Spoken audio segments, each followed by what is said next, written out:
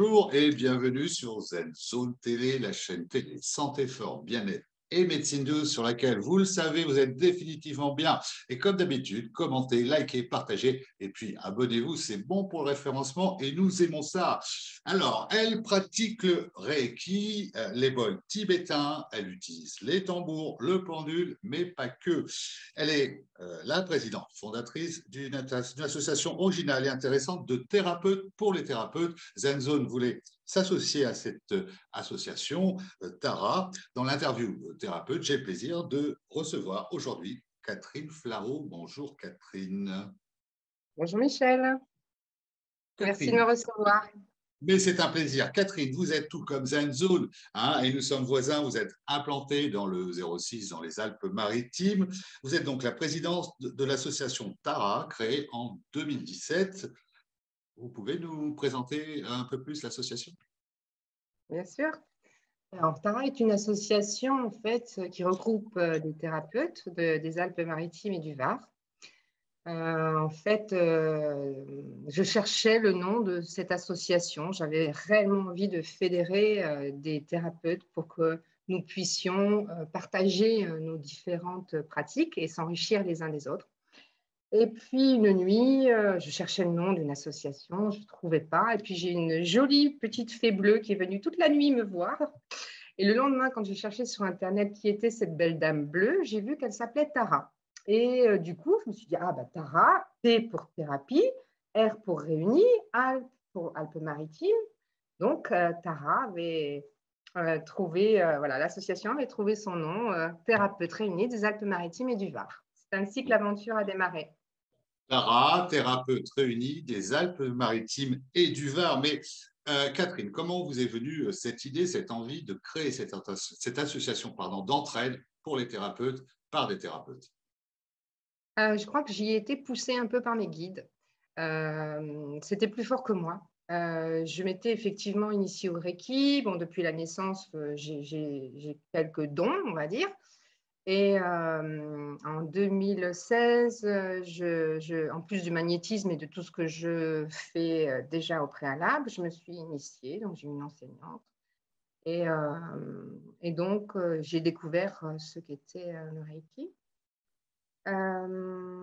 et c'est à la suite de ça, en fait, que j'ai eu cette envie, une envie de regrouper des gens qui faisaient le même genre de choses que moi, puisque je me rendais compte que je n'étais pas seule.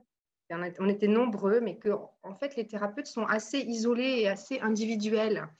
Et que le fait de se regrouper euh, peut nous apporter euh, déjà euh, une solidarité entre nous, et puis des échanges de pratiques. Et puis quand on se pose des questions, parfois on est bien seul.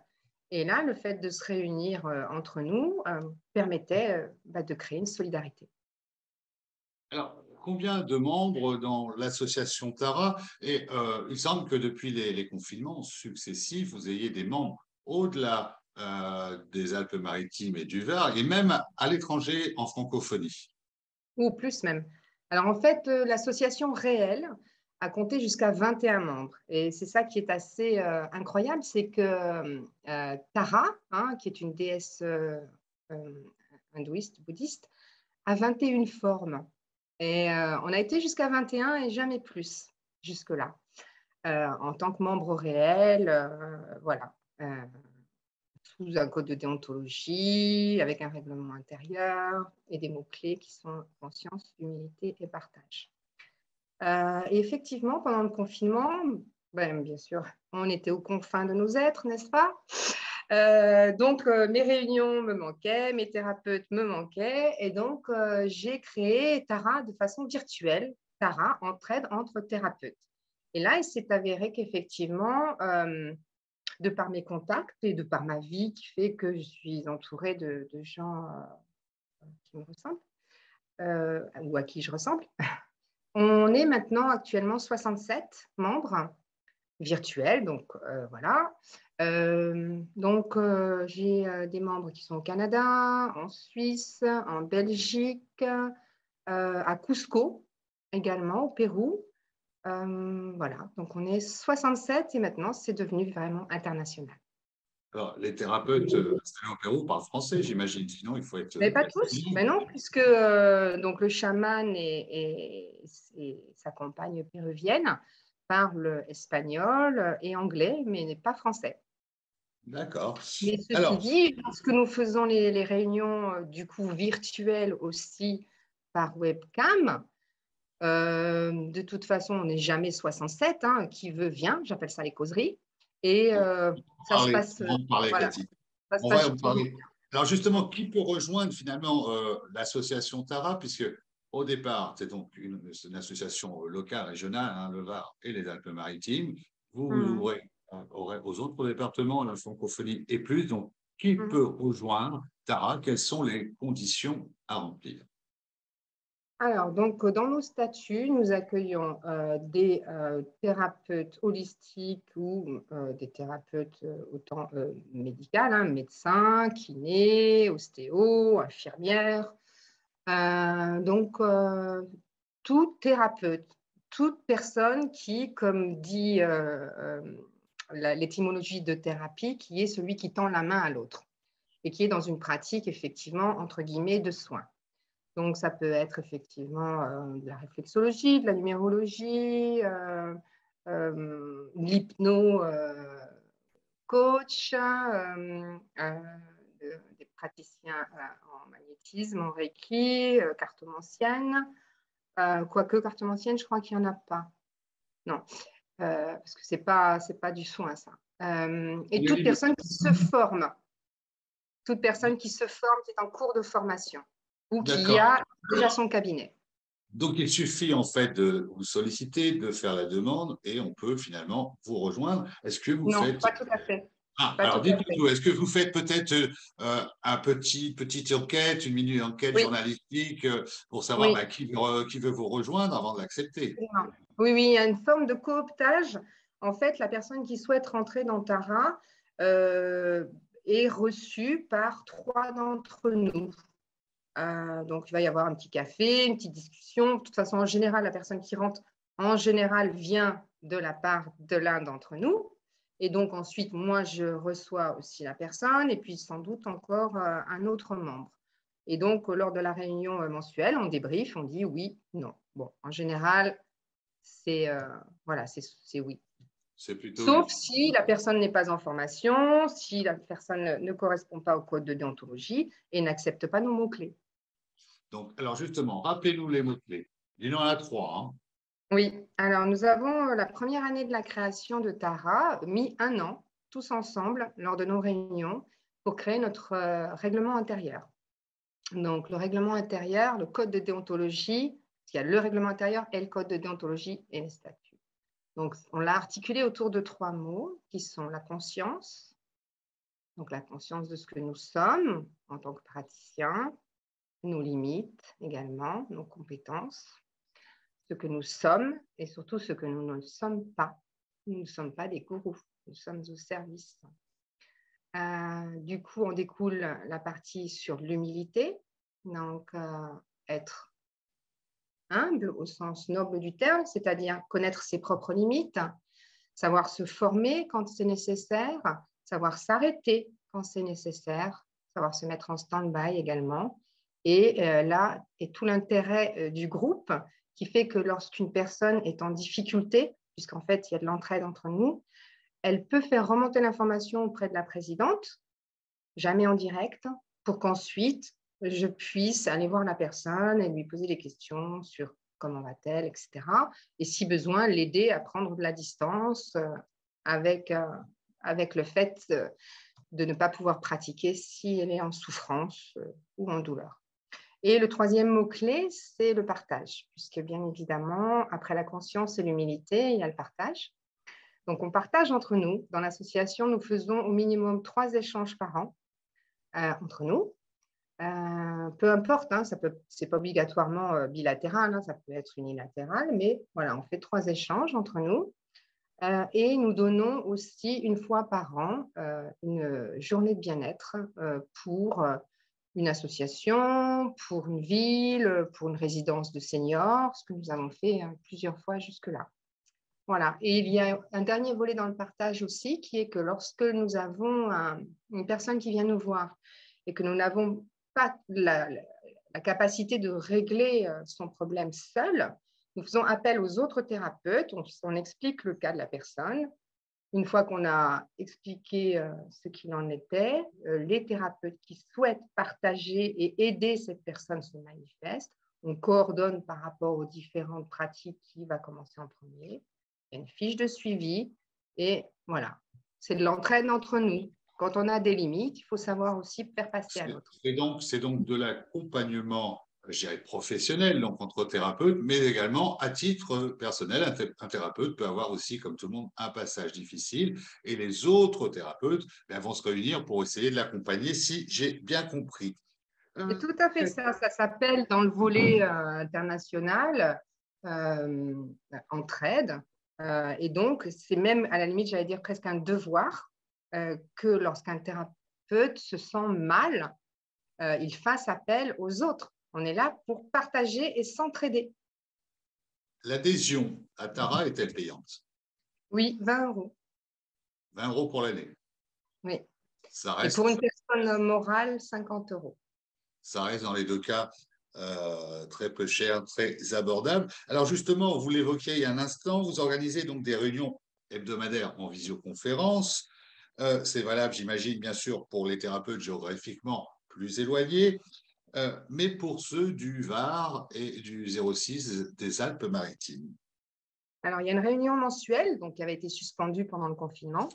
Et en général, on tourne chez les uns et les autres. Ainsi, nous pouvons découvrir les cabinets euh, des différents thérapeutes. Donc, ce sont des réunions mensuelles conviviales. Hein. Il n'y a pas de thème particulier. Mais voilà, on va se réunir chez la diététicienne. La fois d'après, on va se réunir chez la réflexologue. On tourne donc, c'est mensuel et non pas hebdomadaire, contrairement à ce que j'ai dit. Juste... Oui, oui, c'est mensuel. Ça fait déjà beaucoup de travail. et puis, je vais en parler aux stagiaires. Alors, vous appelez ça des causeries, vous appelez ça des causeries, c'est joli, mais euh, voilà, comment se déroulent ces moments de discussion pour aller un peu plus de, euh, dans le détail? De quoi y parle-t-on Vous avez dit, hein, vous allez chez l'un, chez mhm. l'autre. Euh, Alors, en fait, donc, dans le volet international, Là, pour l'instant, on fait juste connaissance dans les causeries, donc qui euh, est présent, discute avec les autres, se présente, présente ses méthodes et on discute. Euh, et en général, il y a toujours des échanges du coup qui s'ensuivent. Pour la partie euh, réelle de l'association donc des Alpes-Maritimes et du Var, en général, on faisait un tour de table. on parlait des actualités des uns et des autres. Euh, on avait, euh, euh, pour certains d'entre nous, chacun un rôle particulier. Donc, par exemple, il y avait une thérapeute qui, elle, nous faisait remonter les informations sur tous les événements bien-être où on pouvait s'inscrire. voilà.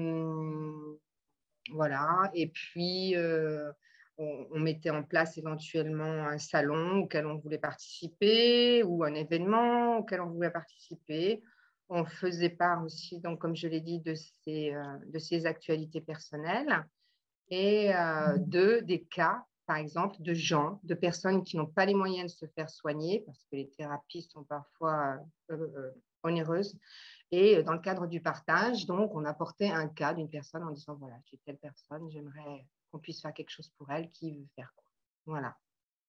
Et puis, on passait un petit moment convivial derrière et on buvait un petit coup et on mangeait ensemble. ça, ça ce n'est pas le plus désagréable. Euh, Catherine, quels sont les projets de l'association à, quelques semaines, quelques mois, quelques années? Alors du coup, bien, euh, il y a plusieurs volets. Euh, là, l'association est en train de se reformer physiquement après ces confinements. Donc, dans un premier temps, il va y avoir à nouveau ces réunions mensuelles où on va refaire connaissance avec les nouveaux membres, parce qu'on est en train de grossir de façon exponentielle. Euh, ensuite, il y a une journée de bien-être que je souhaite organiser. Euh, pour l'instant, j'ai un rendez-vous cet après-midi avec un maire d'une ville importante. Je souhaite lui proposer euh, cette journée du bien-être où seront essentiellement présents les membres de Tara et les thérapeutes de Tara, qui seront un gage de thérapeute. et ensuite, au niveau international, effectivement, je pense que euh, l'association la, Tara virtuelle va devenir euh, réelle. Et là, il y aura des événements qui seront créés dans le monde entier. Catherine Flau, on va parler maintenant, on connaît mieux Tara, mais on va parler un petit peu de vous, de la thérapeute, de la praticienne que vous êtes.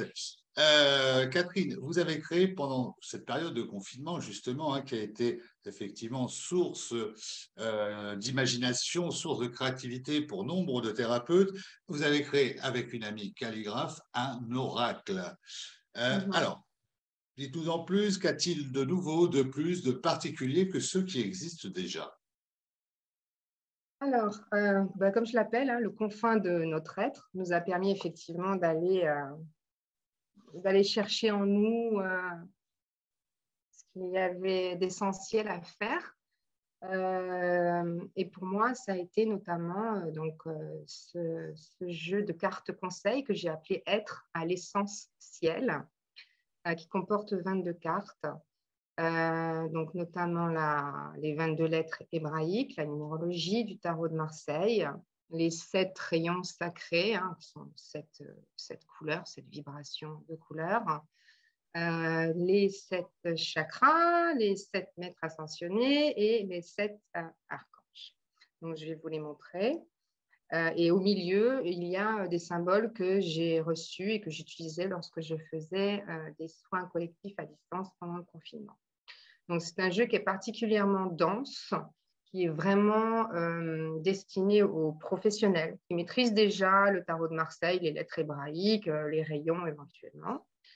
Euh, et donc, il sera destiné, là je suis en train de finaliser le livret, je tarde un peu, je suis un peu feignante, mais je le pratique. Ça fait deux ans que je le pratique et que, en fait, je l'apprivoise. Donc, je ne suis pas pressée. Et le jour où je le sentirai, j'ai l'intention de former des professionnels.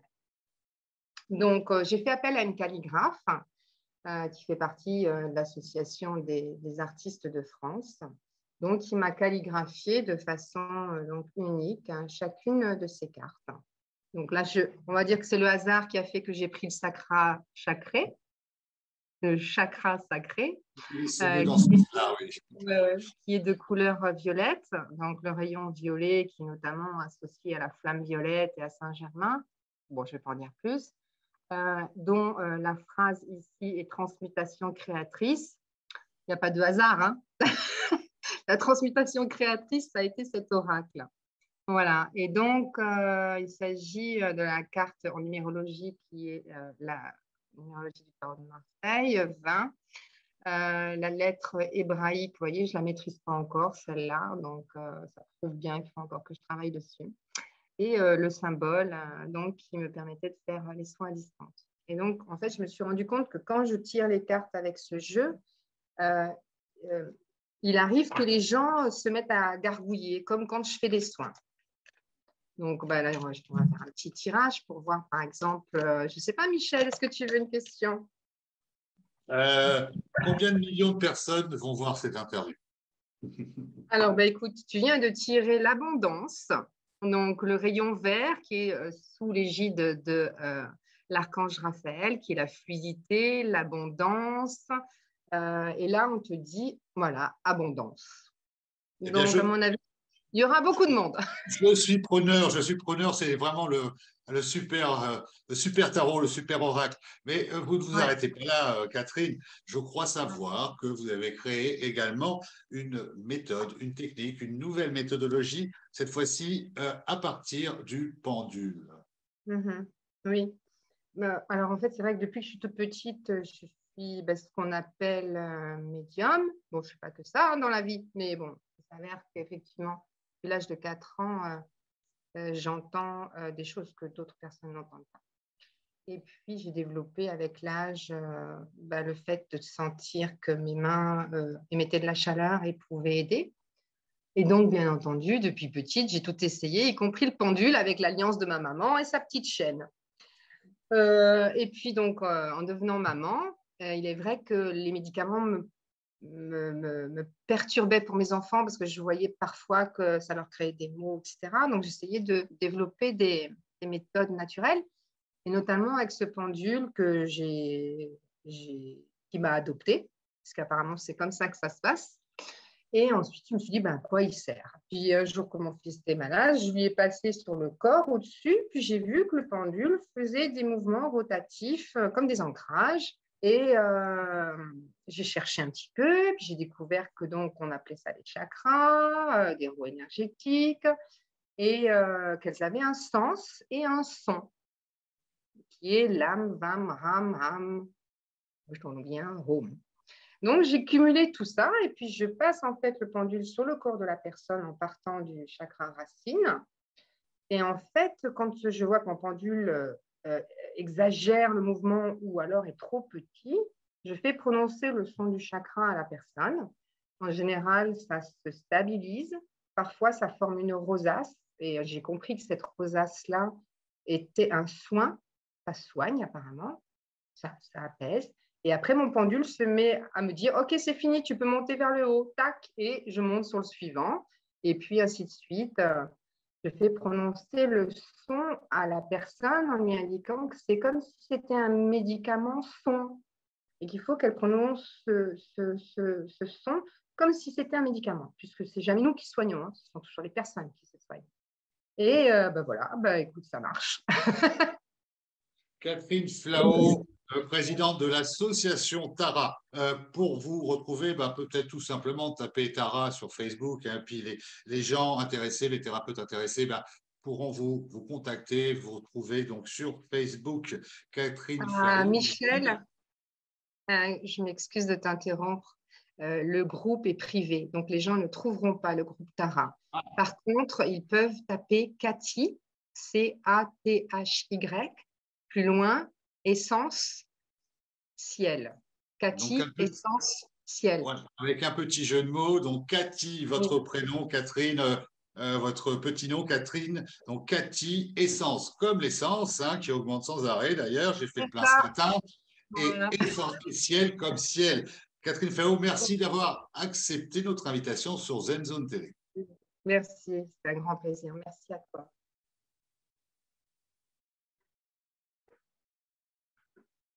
Música